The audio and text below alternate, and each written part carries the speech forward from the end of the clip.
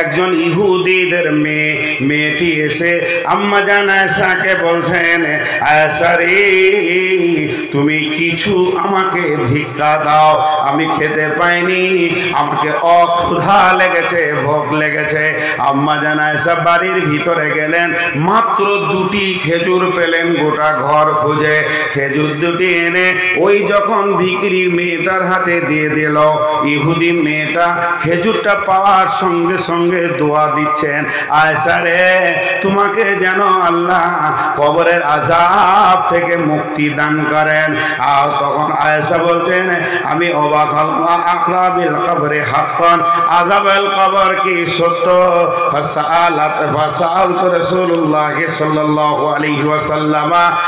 জান ফাসালাত তো সব প্রশ্ন করলেন কে? ফাসালাত আয়েশা তো।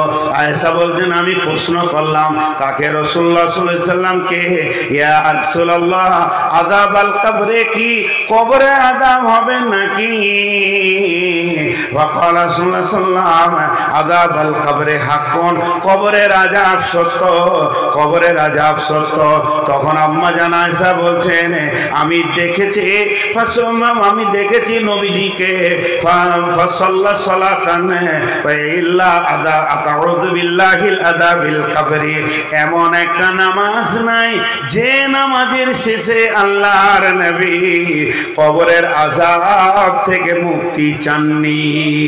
আমি দেখেছি তিনি ফরজ নামাজ হোক, সুন্নত হোক আর নফল হোক, যে নামাজই পড়েছে, প্রত্যেকটি নামাজের শেষে কবরের আজাব থেকে তিনি মুক্তি চেয়েছেন। তার মানে বিশ্বনবী যখন কবরে আজাব থেকে মুক্তি চেয়েছেন এবং আল্লাহর নবী নিজের মুখে বলেছেন আজাব আল কবরে হাক্কন। তাহলে কবরের আজাব আছে এবং কবরের আজাব সত্য। আমরা সবাই একবার মুখ খুলি। আত্মাই হিয়াত পড়ি। পড়ার পর কি পড়ি? দরুদ শরীফ। নামাজের শেষে কি পড়ি? দরুদ শরীফ। আল্লাহ সাল্লি আল্লাহটা শেষ হলে কি পড়ি? আল্লাহ ইন্নি জানাম তো নাফসি এইটা শেষ হলে কি পড়ি? আল্লাহ বলেন আল্লাহ ইন্নি মিন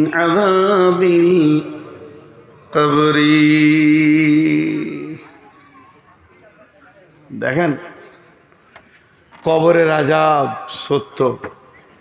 বেঈমানরা বলছে, কোরআন মানি। কি করে মানলে?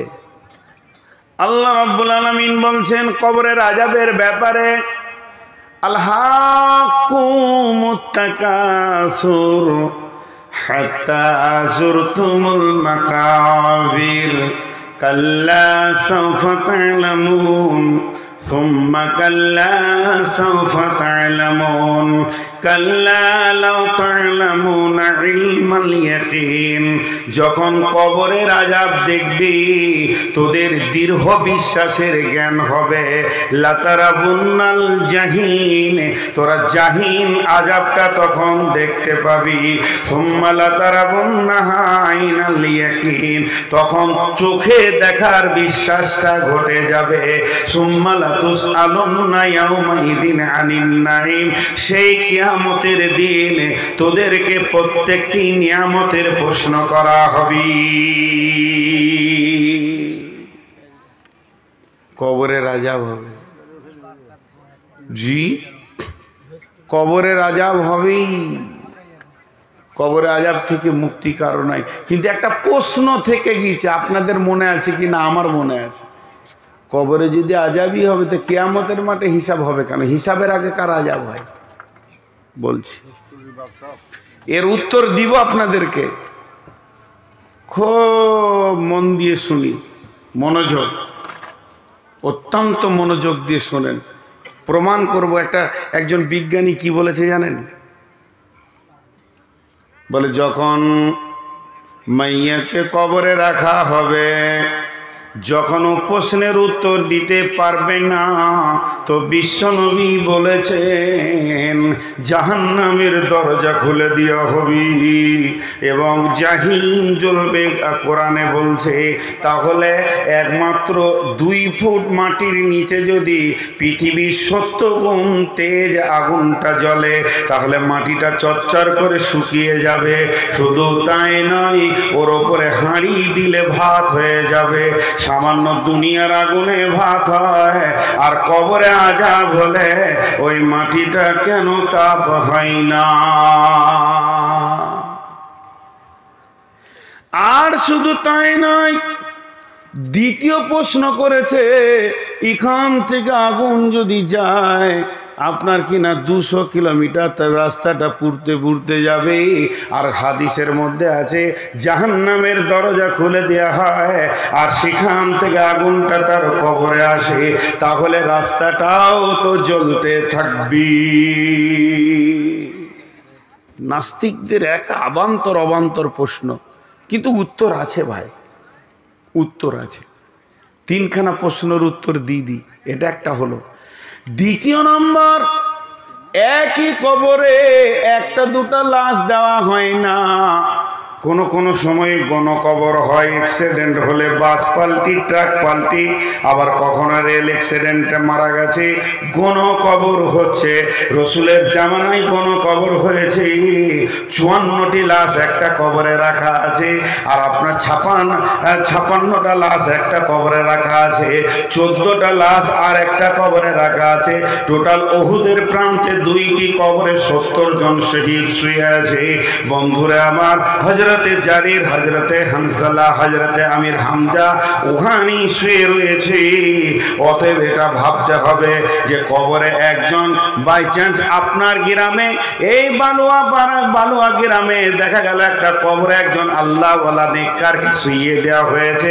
না জানি হাড় গড় তার সেরে গেছে, সব শেষ হয়ে গেছে। আবার ওই কবরে এক যা বেঈমানকে দেওয়া হলো। তাহলে বেঈমানের আজাব হলে ইমানদারও তো আজাবে পূর্বী। প্রশ্নর শেষ নাই। প্রত্যেকটি বিজ্ঞান দিয়ে উত্তর দিব। বিজ্ঞানকে বিজ্ঞানরাই খেয়েছে। মাছে মাছ খায় না? বোয়াল মাছে? পুঁটি মাছকে খেলে তো এই যে বিজ্ঞানীরা প্রশ্ন করেছে, এরা পুঁটি মাছ। আর এক বিজ্ঞান বোয়াল মাছ ওকে খেয়ে নিয়েছে। প্রথম প্রশ্ন গোটা রাস্তাটা আগুন হবে না, শুধু কবরটা জ্বলবে। বিজ্ঞানীরা বলছে, পাগলের দল, একবার ভেবে দেখ, ওই ফারাক্কার তাপ বিদ্যুতে ওখানে বিদ্যুৎ উৎপন্ন হচ্ছে। গোটা রাস্তাতে বিদ্যুৎটা আসে তোর ঘরে হিটারে আলো জ্বলছে, আগুন জ্বলছে, ভাত হচ্ছে, এর জন্যে রাস্তাটা পুরে না। গোটা হিটারটা জ্বলে তোর ঘরে ভাতকে ফুটিয়ে দিল, কিন্তু কেবেলটা হলো প্লাস্টিকের, এটা গলছে না। তাহলে জানতে হবে, যদি বৈজ্ঞানিক এভাবে এতটা তাপকে আনতে পারে, তাহলে আমার রব জাহান্নাম থেকে আগুন কবরে পৌঁছাতে পারবি। পারবে না? জোরে বলেন, পারবে না? নাম্বার দুই প্রশ্ন, এতটা তাপ যদি হয়, তাহলে ওপরের মাটি কেন শুকায় না? বিজ্ঞানটা একটা কেমিক্যাল তৈরি করেছে। যে কেমিক্যালটা কোনো মানুষকে, কোনো প্রাণীকে এইভাবে যদি মেসেজ করে দেয়া হয় এক বোতল কেমিক্যাল নিয়ে আসেন। তারপরে আমার গোটা বডিটা যেন এক তিল, এক চুল বাদ না থাকে মেসেজ করে দেওয়া হয়। কেমিক্যালটা যখনই মাখানো হয়ে যাবে, ওই লোকটার গায়ে একবার খালি বিদ্যুৎ লাগিয়ে দিতে হবে, দুইবার নয়, মাত্র এক সেকেন্ড নয়। শুধু ঠেকিয়ে ছেড়ে দিলে, চামড়াটা যেমন কার তেমন থেকে যাবে, চামড়া নষ্ট হবে না। আর ভিতরের বডিটা ওই সেকেন্ডের ভিতরে ছাই হয়ে একদম গুঁড়ো হয়ে যাবে। তাহলে একটা মানুষ যদি কেমিক্যাল দিয়ে ভিতরকে পুড়িয়ে ছাই করে দিয়ে দেখাতে পারে, আর ওপরটা ঠিক আছে, তো আমার রব কবরকে কাঁচা রেখে মুর্দাকে আজাব দিতে পারবি। পারবে না? জোরে বলে না? এবার বলেন, নেককার বদকার একই ভিতরে শুয়ে আছে। তাহলে আজাব হলে তো আর একজনের হবে বলে, জি না। একটা লেপের ভিতরে দুই ভয় দুই ভাই শুয়ে আছে, স্বামী, স্ত্রী দুই আছে, একই কম্বলের ভিতরে। দুইজনে আরাম করছে, গভীর রাত্রিতে একজনকে বাগে তার চেয়ে ঘুমিয়ে স্বপ্ন দেখছে, সে পেরেশান হয়ে ধরছে পারছে না, একদিকে বাঘ, একদিকে সাপ। আর একজন স্বপ্ন দেখছে, সে ন্যাংরা আম খেছে ন্যাংরাটা ভালো লাগছে না, ফজলি খেছে বাগানে ঘুরছে। একই ল্যাপের ভিতরে স্বপ্ন যদি দুই রকম হয়। একজন পেরেশান আর একজন আনন্দর উৎফুল্লে ঘুরছে। আমার রব একই কবরে একশো জনকেও দিলে যাকে আজাব দিবার তাকে দিতে পারবে আর যাকে আনন্দ দেওয়ার তাকে দিতে পারবে। তাই আমার আল্লাহ বলছেন, সুম্মা আমাতা আকবারা তোদেরকে যে আমি গতিশীল করে রেখেছি কবরের দিকে, সারা বিশ্ব এসে এটাকে আটকিয়ে দিতে পারবে না আমি যে ডেট তারিখ করেছি ওই ডেট এবং তারিখে তোদেরকে কবরে শোয়াব আমরা কবর থেকে গাফিল হয়ে আছি أفلا يعلم إذا بعثر في القبر তোমরা কি জানো কবরের ভিতরে কি আছে? পুনরুত্থানের দিনে কবর থেকে কি তোলা হবে? জান্নাতি না জাহান্নামি? নারী না পুরুষ? কোরআন বলছে সুম্মানুফিকা ফিহি উখরা, ফাইদা হুম কিয়ামুন ইয়ানজুরুন। যখন দ্বিতীয় সুর ফোঁকা হবে, তখন লোক দল দল কবর থেকে একদম পোকার মতো বিড়বির করে উঠবি। ওরা বলছে, তোর হুঁশ নাই বলে এখনও বকছিস। চলল। ঘর যে স্যার বলছে, তুই থাক আর কমিটির লোকটি থাকুক। রাগ করেন না, ভাই যারা চলে যেতেন, ওইদিকে পেছন দিকে দুটো গামছা, চাদর দিয়ে দেন। যে যে চকই ধরেন, তাহলে আর কেউ যাবে না। রাত অনেক হয়েছে, মানুষ এখন দুর্বল হয়ে গেছে, অসুস্থ হয়ে গেছে সুগারের রুগী বেশি। জি ভাই। তো আল্লাহ তাবারাক বা তালা কবরের ব্যাপারে কত কথা বললেন। এবার চলেন নবীজি কি বলছেন? বিসমিল্লাহ রহমান রহিম ইদা উদিয়াল মাইয়াতু ফিল কাবারি। আতাহু মালাকানে। ফায়াকুলানে, মান রব্বুকা মা দীনুকা ওমান নবীকা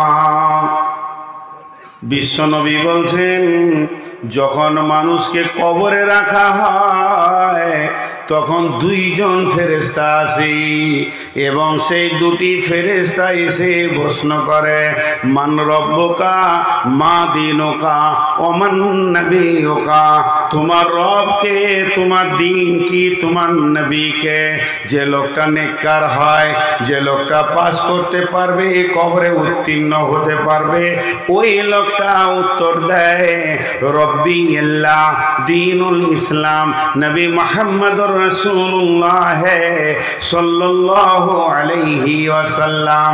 যখন উত্তর হয়ে যায়, আমার রব বলে, আমার বান্দা সত্য বলেছে, কাদ সাদ্দাক্তা। সে সত্য বলেছে, সত্য উত্তর দিয়েছে। তাকে জান্নাতি লেবাস পরানো হয় এবং বলা হয়, তুমি জান্নাতি ঘুমে কম তুমি এমন ঘর ওরসা যেমন নব দুলহা। দুলহি আপনার কিনা বাসুর ঘরে শুয়ে যায় ও তাদেরকে কেউ ডিস্টার্ব করে না। তাদের ঘরের দরজা কড়া কেউ হিলাবে না। তাদেরকে কেউ বিরক্ত করবে না। এই রকম যখন হয়ে যায়, তো আমার নবী বলছেন, ওইভাবে কবরবাসীকে বলা হয়, তুমি আনন্দের সঙ্গে ঘুমিয়ে যাও। আর যে লোকটা উত্তর দিতে পারে না, যে লোকটা উত্তর দিতে পারে না, আলা আদেরি। আমি তো কিছুই জানি না, কিছুই বুঝছি না। তার জন্য জাহান নামের পোশাক পরিয়ে দেওয়া হয় জাহান নামের বিছানা দিয়ে জাহান নামের দরজা খুলে দেওয়া হয়। কিন্তু বন্ধুরে, একটা জায়গা মজার কথা, যে লোকটা উত্তর দিতে পারে, তার জন্য জাহান নামের দরজা খুলিয়ে একবার দেখানো হয়। হে আল্লাহর গোলাম, তুমি উত্তর দিতে পেরেছ, তুমি সত্য কথা বলেছ, তারপরও একবার জাহান নামকে চোখ খুলে দেখে লাও, এটা কত কঠিন জায়গা। আগুন যেন দাও দাও করে চলছে আর একে অপরে ছিঁড়াছিড়ি করছে, একে অপরে লড়ালড়ি করছে। তখন ওইটা দেখেই বলা হয়, তোমার আল্লাহ তোমাকে মাফ করেছে, তোমার আল্লাহ তোমাকে ক্ষমা করেছে। এখন তুমি নবদুলহার মতো শুয়ে যাও। আর যে লোকটা উত্তর দিতে পারে না, তাকে এক ঝলক জান্নাতকে দেখানো হয়, আর বলা হয় হতভাগা বদনসিব। তুমি আলে মোলামার কথা তুমি লাওনি, তাদের কথা মাননি। তাই আজকে তোমার কঠিন আজাবে চিরদিনের কবরে সহিত থাকতে হবে। জি ভাই, দেখেন কি কঠিন জায়গা কবর। সেখানে আপনাকে আমাকে পেরুতেই হবে। কোনো উপায় নাই, কোনো উপায় নাই।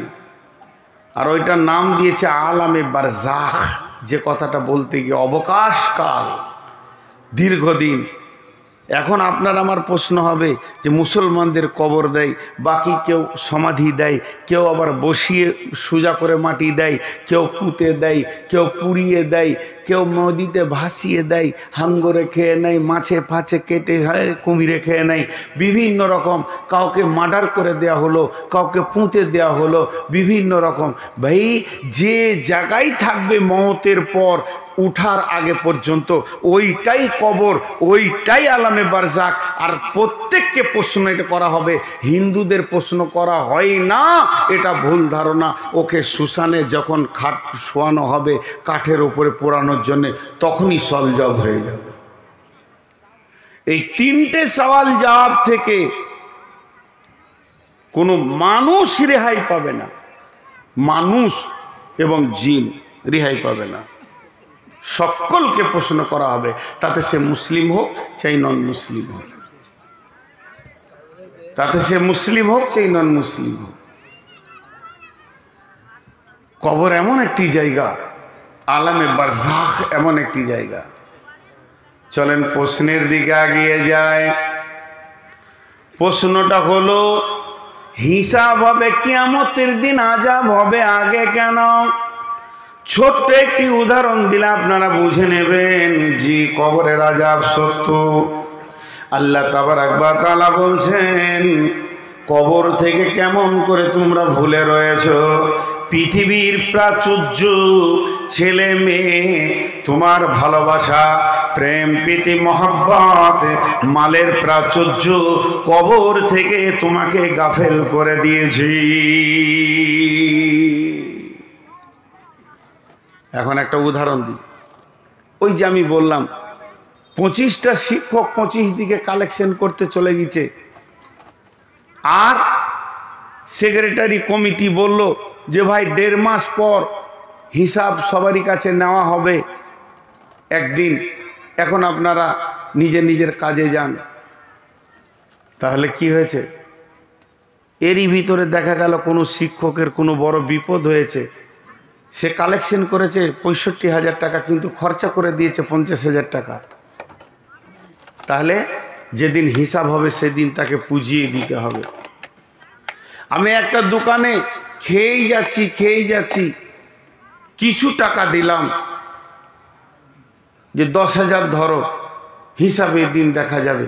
তো টাকাটা দেওয়া ভুল হবে, দেওয়া যাবে। তো শিক্ষকদের ভিতরে সেক্রেটারিকে বলল ভাই, আমি তো গরিব মানুষ, আমার বাড়ি ঘর মজবুত নাই, এতগুলো টাকা রাখব কি করে? আমার কাছ থেকে পঞ্চাশ হাজার, আমার কাছ থেকে বিশ হাজার, আমার কাছ থেকে সত্তর হাজার, আমার কাছ থেকে এক লাখ, এগুলো অন্তত জমা করে নেন।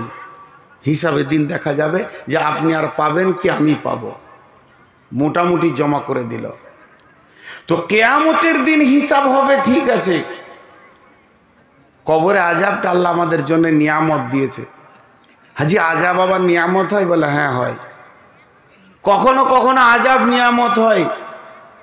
কখনো কখনো হয় নিয়ামত। এর আবার আর একটা উদাহরণ আপনাদেরকে দিতে হবে।